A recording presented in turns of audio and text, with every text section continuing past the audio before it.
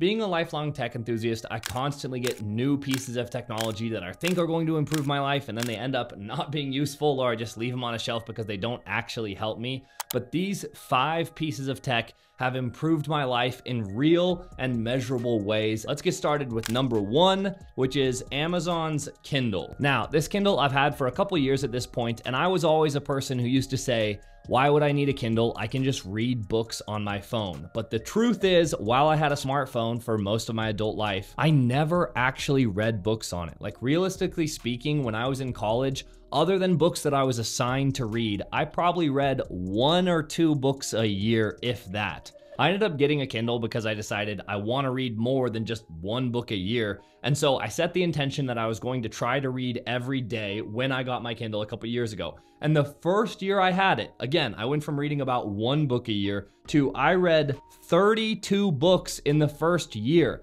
And this is one of those things where, yes, the Kindle is just a piece of tech, and yes, you can read books on your phone just as well as on the Kindle. But because the Kindle is so simplistic and only does one thing, where if you have it, you're only going to be reading. Whereas when I was on my phone, I would always end up, I'd read the book for a little bit, but then I'd get a little bored because reading wasn't as fun. And then I'd go on YouTube or TikTok or check my email or whatever it is. I ended up just not reading. The Kindle being so single focused actually allows me to use it as a book and as a reading device. And that's been huge for me. It sounds hyperbolic, but it's actually changed my life because I went from someone who I used to read when I was a kid, but then as an adult, I never really read for fun or outside of a work or school setting and now I'm someone where now I have a habit that I read basically every day and I absolutely love it. I've learned so many new things from reading. It's been such a positive thing in my life that I just cannot recommend this enough. So while of course it's not necessary, yes, you can read on your phone. And if that's someone where it works for you, I say that's awesome. If you're someone like me who just wanted to read more, I cannot recommend getting a Kindle highly enough. And the other positive that actually really helped me is I read before bed, and this has actually improved my sleep a lot because it stopped me from before I would take my phone to bed and then I would kind of play on my phone telling myself I was gonna read, but really I wasn't really. I'd watch YouTube videos or whatever. And now I don't take my phone in the bedroom. I just take the Kindle and you can't get distracted on a Kindle. You're not gonna go play around and web browse on this thing because it's just not a good experience. So this has actually improved my sleep alongside with making me read more books. So cannot recommend this enough. And the other thing, no, you don't have to get the newest one or the nicest one. The biggest recommendation I can make is get one that has a backlight. You can get a used one. I think I picked this one up used actually, but make sure it has a backlight so that you can read in the dark. That's been something that's been really helpful for me. Side note, I just finished David Goggins Can't Hurt Me and it is a fantastic book, so give it a read if you're gonna get a new Kindle. Moving on to the next thing, which goes hand in hand with your Kindle is get yourself an iPad. Now, it doesn't have to be an iPad. It can really just be any tablet, but get yourself something where you can take digital notes, but you can actually handwrite with them. I think the handwriting here is really important. And let me just tell you a few ways how I use my iPad and how I will never go back to not having some sort of digital note-taking device. Number one is I take it obviously for notes while I'm reading books. So here's some of my notes. This is exactly what I do while I'm reading is I have my Kindle and I set it down and I'm reading. And then while I'm reading my book, I just take notes. So right here, I have it like this, page three, I wrote some stuff down. These were my important takeaways from the book and then as you go through, I just keep taking notes on the book. And then later on down the road, like let's say I forgot about this book, The Buddha and the Badass, which I kind of did. You know, it was two years ago at this point. I don't remember exactly everything from the book, but I can go back through my personal handwritten notes and I can see these were the things that were important to me when I was reading the book.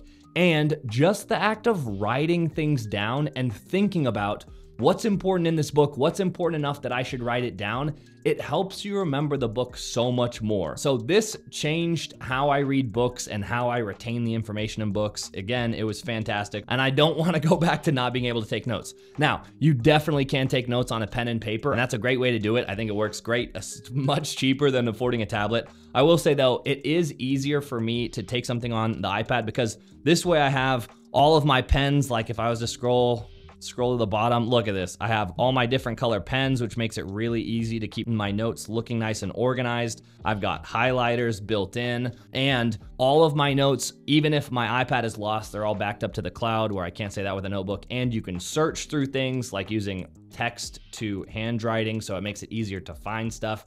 And I just find that if it's digitally somewhere, then I have a lot better chance of keeping it. Whereas I've lost so many notebooks, I have a couple over here, but I just lose them. And then all that information I had that I probably wanted to remember or maybe wanted to look back on is gone. So I'm a huge believer in taking what feels like a physical note because it's, it's I'm writing it down, but it's actually a digital note. I'm a huge believer in that. And the second main thing that I use my iPad for, other than writing notes while I'm reading books, is actually just for doodling. And I don't think people talk about this enough, which is that I think letting your inner child just play, just have fun. This is a toy, you can just play with it. Like here's here's something I've been doing um not every day, but I try and do it at least a couple times a week.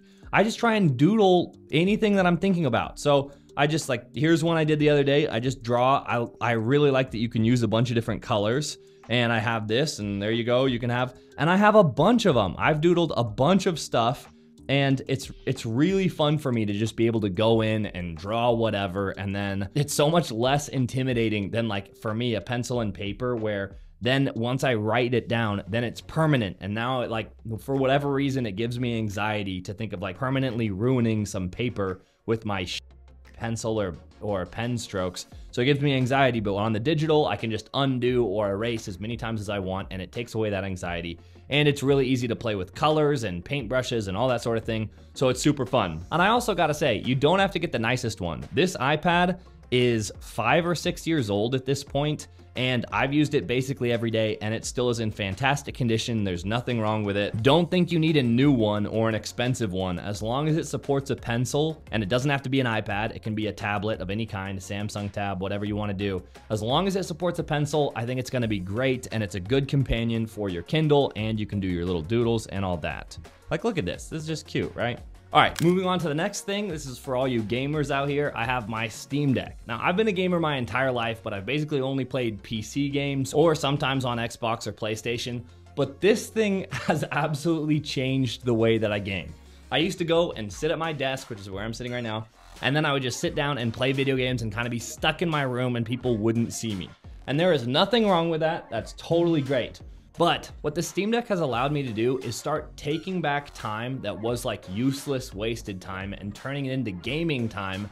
And then I don't have to spend some of my other time that's valuable on gaming, if that makes sense. It just makes it feels like I have more time in my day. And let me give a couple examples. So I'm going on a road trip in two days and I'm gonna be taking my Steam Deck and I do a solid amount of road tripping. And then when I'm not driving and talking with the driver or like hanging out or whatever, I can be playing games. Like, for example, I played a few hours of Elden Ring in a car trip the other day, and it turned this boring, I'm driving in a car and I'm kind of stuck here just waiting for us to get there, into all of a sudden, I don't want the car trip to be over because I'm having so much fun playing Elden Ring. And so that has been huge. You can also obviously take them to airports or on planes or any type of waiting that you have to do. The Steam Deck can kind of fill that role. And it's something where you can take that wasted time where you're waiting for something to happen and you can just play some games. Like, here's another example. When I'm cooking, I'll take the Steam Deck up into the kitchen, and then I'm like, okay, I have to wait 10 minutes before I have to flip this over and I'll just stand there at the counter playing on my Steam Deck for 10 minutes. Then as soon as the thing's ready to be flipped, I flipped it, I flip it, and you can do quick pause and quick resume so your game is always right there ready for you. And then it just fills in, and there's 10 minutes of gaming that I just got in that I wouldn't have been able to get in before, and I probably would have just sat there wasting time on my phone, which wouldn't have been nearly as fun for me as playing video games. Another huge plus for me for the Steam Deck is that after a long day, my girlfriend and I like to hang out, and she likes to watch TV more often than not, and I like to play video games more often than not. And when I was playing on a PC, I would play in my room and she would watch TV, but then we weren't hanging out or spending time together. And when I played on a console, well, if she wanted to watch TV, then I can't play. And if I want to play, then she can't watch TV. So there's kind of a scheduling problem there. But what the Steam Deck allows me to do is we can both sit on the couch, she can watch her show, and I can play on the Steam Deck, and then we're both spending some non-interactive time together, but it still can feel that role where we're both getting rest and relaxation and we're both together, but we can both be doing our own things. And that's something the Steam Deck has allowed me to do that no other gaming device has allowed me to do. So I think this thing is awesome and I cannot recommend it enough. All right, moving on to the next thing. And this might sound a little silly, but this thing has been huge, which is that it is uh, AirPods. Now, they don't have to be AirPods. They can be any type of noise canceling headphones that are small and can fit in your pocket. And here's why. I keep these in my pocket all the time. And what this allows me to do is that when I'm out and about or when I'm trying to focus on something, I can pop these in and then all of a sudden, the rest of the world just goes quiet. And all of a sudden, it allows me to focus. That's something I haven't gotten with non noise canceling headphones. And these things have been game changing for that. Like, let me just tell you one of my main use cases. I like to go to the park and read, or I like to go out in public or out where the sun is shining so I can get some outside time because I sit at a desk all day. So I'm always trying to find new ways to get outside. But when I try and go read outside with other people around, the noises will distract me from reading. But these things allow me to put them in, then I can block out the rest of the world, and then I can read my book while still being outside in the sunshine and enjoying just kind of being around other people or being around, but without getting distracted by all the noise and conversations and all that sort of thing.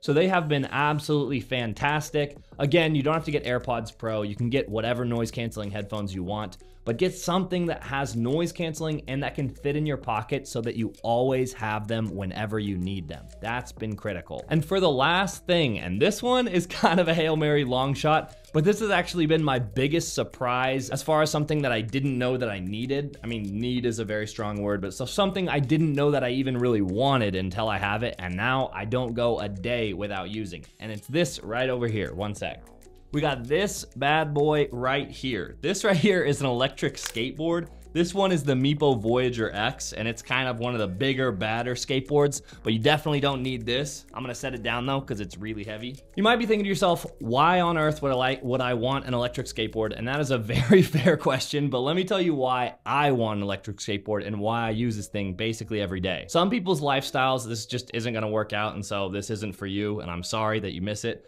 But what this has done for me is that it's taken a lot of my basic commutes. Like for example, I go to the gym pretty much every day. I also will go to friends' houses or just run errands or anything like that. And most of it is pretty close to my house. I would say like within five to 10 miles from my house.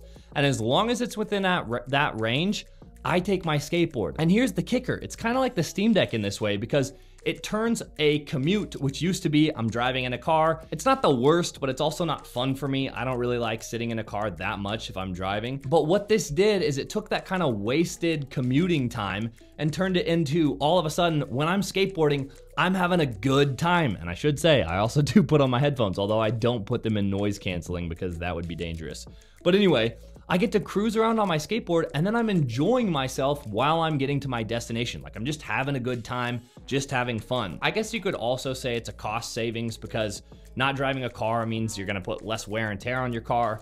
Gas mileage on your car is obviously gonna be more expensive than an electric skateboard, but I'm not even making all those cases. All I'm saying is that you can turn what were kind of boring trips to the gym or to the grocery store or to your friend's house you can turn those boring trips all of a sudden into something that is fun and engaging and exciting. And I've done that with this board. In the last year, I've put about a thousand miles on it, which is kind of crazy because I live in the Pacific Northwest and it's snowy for a good amount of the year. So that means during the summer, I have been really putting miles on this thing but it has been hugely positive in my life and it's been seriously awesome. I really can't recommend this enough, although I know skateboarding isn't for everybody, so if you don't like skateboarding, it's not for you. But if you do like skateboarding or you're like me where I longboarded as a kid, like through middle school and high school, and I thought it was great, this is like the next evolution for me in longboarding, which it takes a lot of the work out of it and I can go much farther distances. Like this one has a range of about 30 miles in the real world. And I don't use that on a daily basis, but I generally average five to 10 miles pretty much every day on this skateboard. So cannot recommend it enough. Now, I wanna say before the video ends that none of these devices are necessary. None of them are gonna make you happy all by themselves. None of them are gonna improve your life so dramatically that everything gets better and not all of a sudden you're happy all the time and you're not depressed. It's not gonna do that. It's just not gonna do that. And if you expect that, you're gonna have a bad time. What these devices are for me though have been little tools that can help me improve my life in the ways that I personally want to improve it. I wanted to read more, so I got a Kindle. I wanted to play more video games, but I didn't want to take more time into my life, so I got a Steam Deck. I wanted to commute, but I wanted to enjoy my commute, so I got this. Things like that, where it's trying to improve parts of your life, but it is not going to make you happy in and of themselves. So I just want to be clear with that. And then the last thing is this is my list of my five pieces of tech that have made my life better, but I would love to hear yours. I know everyone has different things that are valuable to them in different ways that we're all trying to improve our lives. So, what are the ways that you're trying to improve your life and what are the pieces of tech that you're that you've used in order to enable you to improve your life? Let me know in the comment section below. All right, that's going to do it for this video. See you guys in the next one. Peace.